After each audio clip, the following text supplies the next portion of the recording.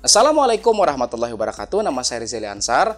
Pertanyaan-pertanyaan subscriber bakal kita jawabin melalui video ini biar yang punya pertanyaan yang sama juga dapat informasinya.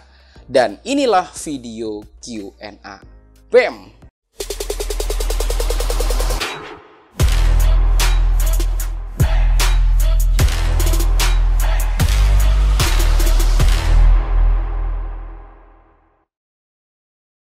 Sebelum kita mulai, boleh klik dulu ya tombol subscribe-nya sebagai dukungan Anda pada perkembangan channel ini. Terima kasih.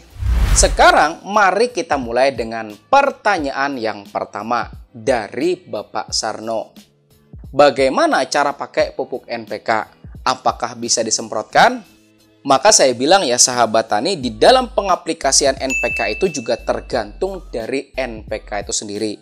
Ada NPK yang memang di dalam pengaplikasiannya itu harus ditabur dan juga dikocor dan ada juga yang di dalam pengaplikasiannya tuh bisa dengan menggunakan aplikasi penyemprotan. Nah, supaya lebih paham lagi tentang ciri-cirinya, maka saya ambil contoh aja ya sahabat tani yaitu pupuk produknya Merauke Tetap Jaya. Nah, pada produknya Merauke Tetap Jaya ada yang namanya simbol-simbol ya sahabat tani yang artinya itu adalah cara penggunaan dari pupuk itu sendiri. Kalau ada gambar seperti ini, nah ini tuh artinya ditabur ya sahabat tani di dalam pengaplikasiannya. Kemudian kalau ada gambar seperti ini, nah ini tuh bisa larut di dalam air ya sahabat tani. Tetapi pengaplikasiannya yaitu dengan metode kocor aja. Kalau ada gambar seperti ini, nah ini tuh ya sahabat tani jenis pupuk yang bisa diaplikasikan dengan metode vertigasi atau irigasi tetes. Dan kalau ada gambar yang kayak gini, Nah, artinya dia bisa diaplikasikan secara foliar atau kita semprotin ke daun tanaman. Misal kita ambil contoh ya sahabat tani yaitu pupuk NPK Mutiara. Nah, cuma ada gambar yang kayak gini dan kayak gini. Artinya dia tuh direkomendasikan buat diaplikasikan dengan metode tabur dan juga kocor. Dan tidak direkomendasikan dengan metode sem metode semprot gitu ya sahabat tani. Kemudian NPK grower, simbolnya kayak gini. Artinya juga sama ya sahabat tani, tabur dan juga kocor dan tidak direkomendasikan dengan metode sem metode semprot. Kemudian pupuk kalinitra atau KNO3, simbolnya ada tiga. Yang kayak gini itu artinya adalah foliar. Kemudian yang kayak gini itu artinya bisa diaplikasikan secara kocor dan yang kayak gini itu artinya adalah bisa diaplikasikan dengan sistem irigasi tetes atau vertigasi. Nah, jadi pupuk KNO3 yang kayak gini ya sahabat ini di dalam pengaplikasiannya itu tidak direkomendasikan dengan metode tabur. Kemudian pupuk MKP. Sama juga ya sahabat tani, foliar, kocor, dan juga vertigasi dan tidak direkomendasikan dengan metode tabur.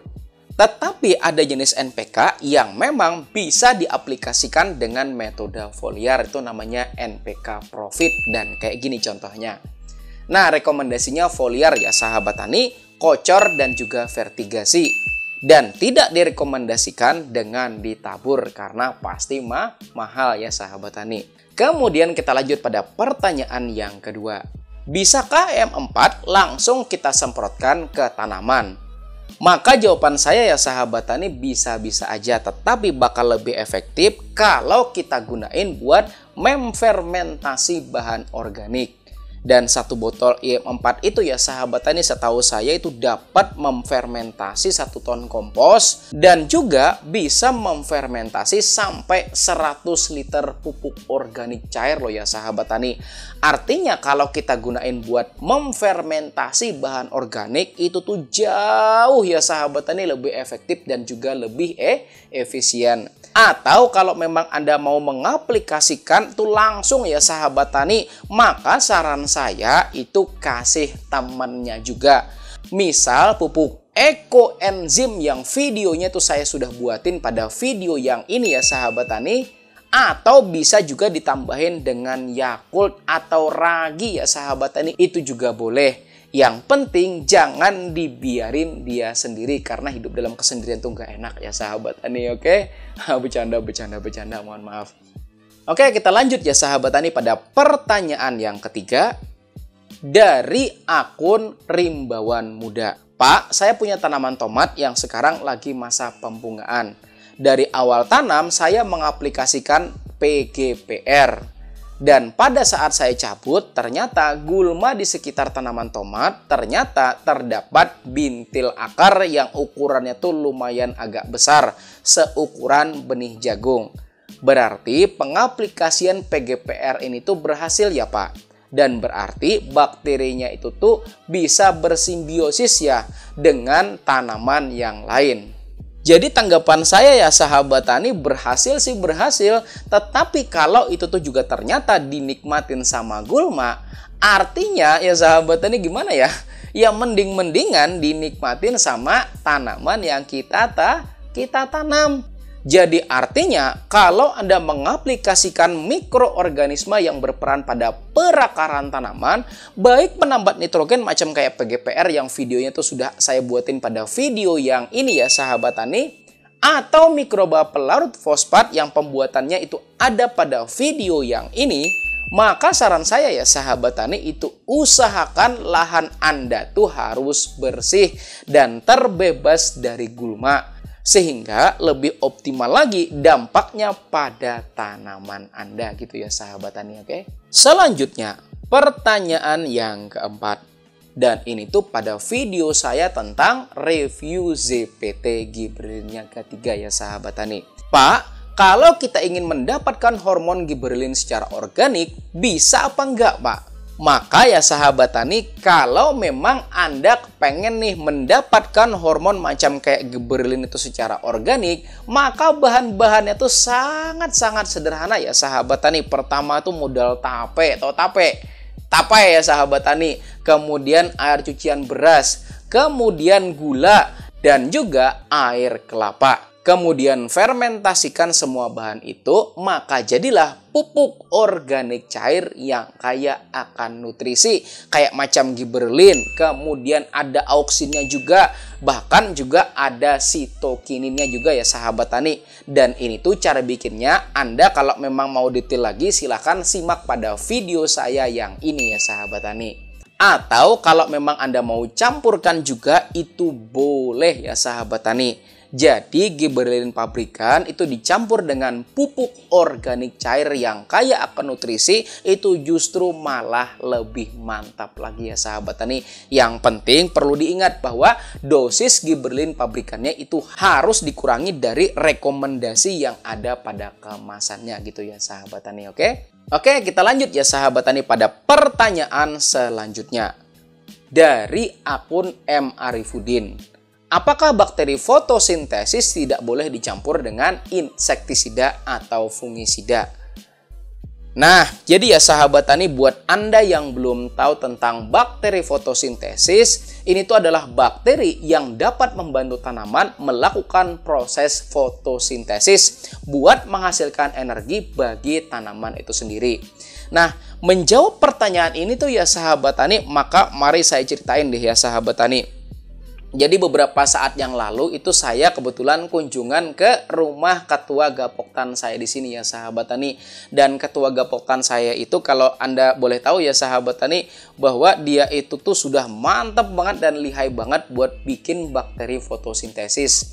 Nah, saat saya kunjungan, dia tuh cerita ya sahabat tani kalau anaknya tuh pernah mencoba jadi di antara botol-botol yang dipakai buat fermentasi bakteri fotosintesis itu ada salah satu botol yang bekas pakai dari insektisida ya sahabat tani. Karena memang gak ada lagi botol yang lain makanya dia pakai yang itu ya sahabat tani. Tapi sebelum dipakai ya dia cuci dulu gitu ya sahabat tani.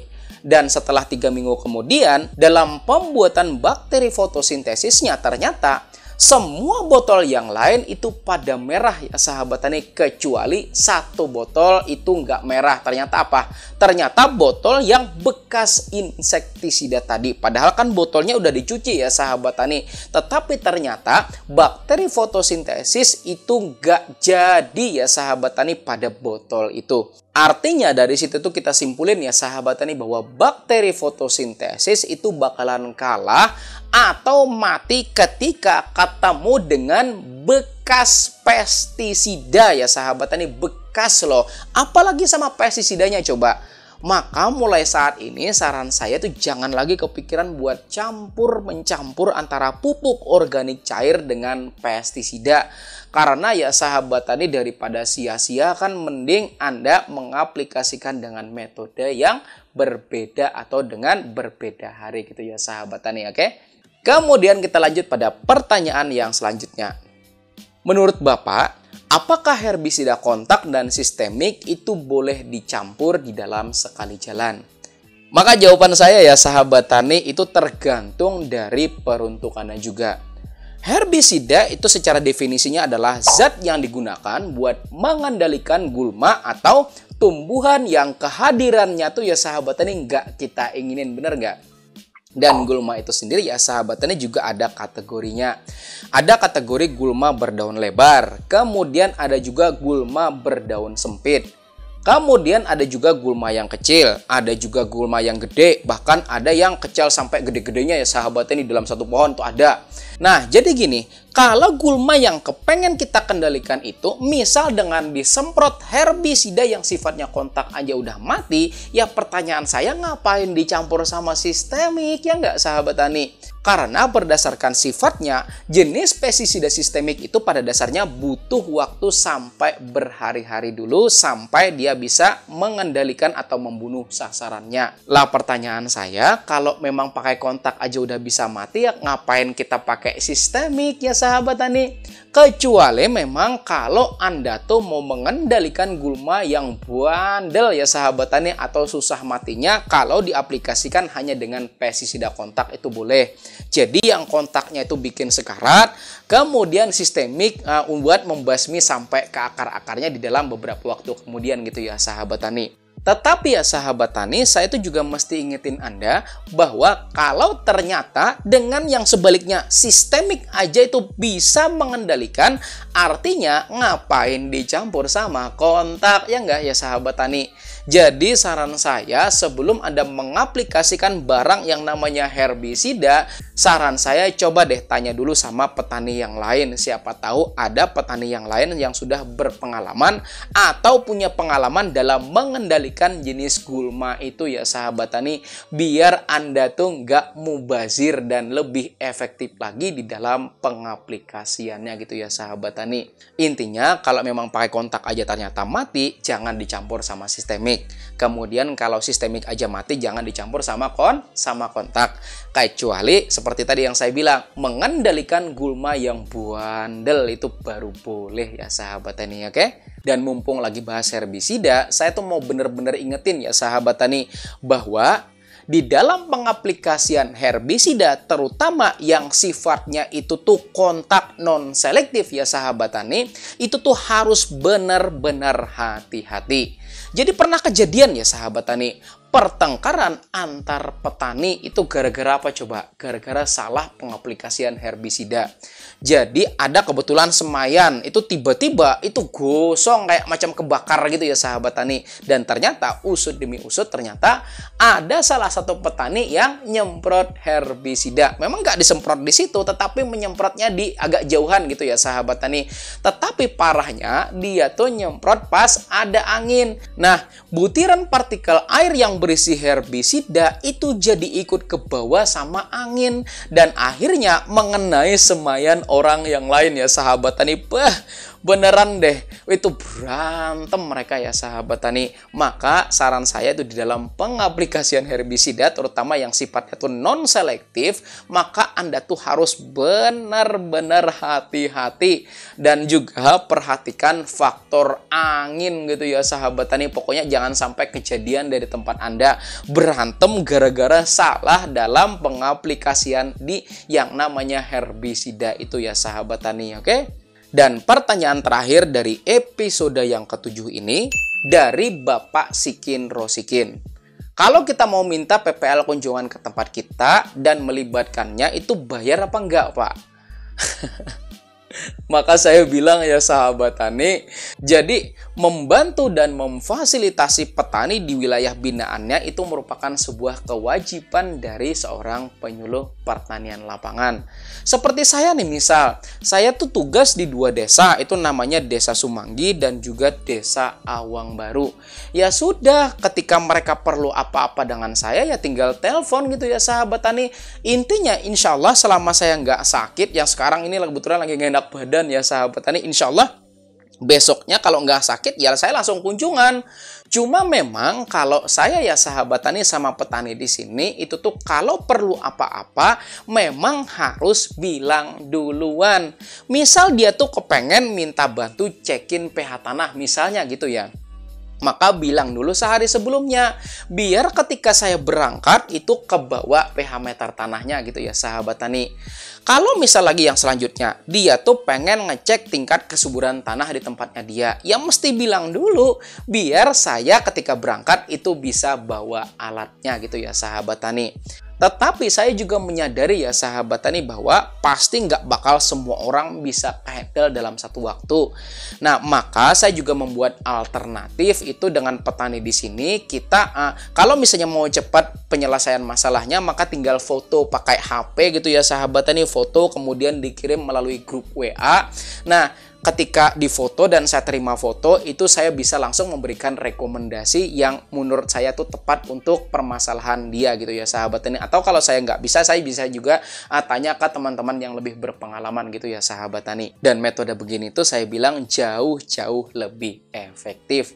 Dan Anda juga bisa loh ya sahabat ini kayak begitu maka saran saya coba deh komunikasikan dengan PPL di tempat Anda, minta bikinin grup WA ya sahabat tani. Jadi kalau Anda misalnya punya masalah, kemudian tinggal uh, cari ke tempat Anda gitu ya sahabat tani, kemudian tinggal foto, kemudian kirim ke grup WA yang ada PPL-nya. Maka saya bilang di dalam penanganannya itu jauh-jauh lebih cepat gitu ya sahabat tani kalau melalui media online seperti itu. Nah itu dulu uh, seri Q&A episode episode yang ketujuh ini mudah-mudahan bermanfaat dan insya Allah kita bakal ketemu pada episode yang selanjutnya dari seri Q&A. Lanjutkan Q&A. Terima kasih ya sahabat ini sudah nonton sampai habis. Setelah ini ada empat buah video yang saya rekomendasikan untuk Anda pelajari. Insya Allah bakal membuat keilmuan Anda itu tambah banyak lagi. Nah terima kasih sudah nonton sampai habis. Mohon maaf saya nggak bisa maksimal karena memang lagi sakit ya sahabat ini saya nggak tahu kenapa kok sebulannya dua kali sakit. Tapi ya mudah-mudahan tetap bisa maksimal memberikan pelayanan buat anda semuanya gitu ya sahabat tani. Saya akhiri wassalamualaikum warahmatullahi wabarakatuh